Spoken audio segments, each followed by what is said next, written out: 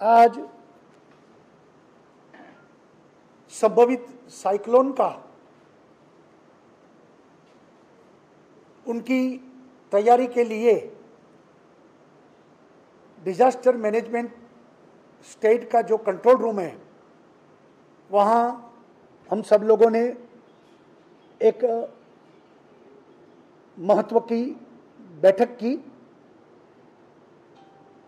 जिस तरीके से जो फोरकास्ट है, तीन तारीख को अर्ली मॉर्निंग से, ये साइक्लोन महाराष्ट्र और गुजरात के बीच बीच में से चलेगा। तो दक्षिण गुजरात और सौराष्ट्र के दो ज़िले, कुल मिलाकर छह ज़िले काफ़ी प्रभावित हो गए, ऐसी संभावना है। बारिश भी होगी, पवन भी चलेगा। तो उस दृष्टि से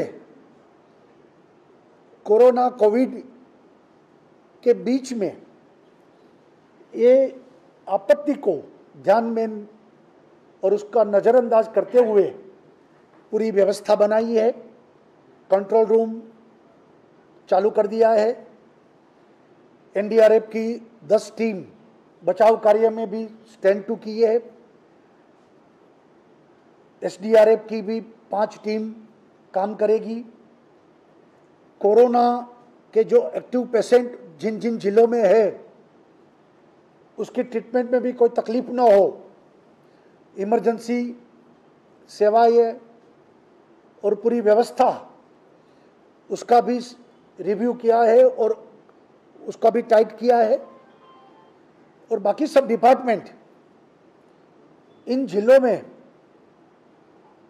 हाई अलर्ट के रूप में काम करेंगे और उन छह जिलों में लोगों को भी हमने रिक्वेस्ट की है कि भाई, तीन तारीख और चार तारीख आप बिना कोई भी काम बाहर मत जाइए, घर में सलामत रहिए।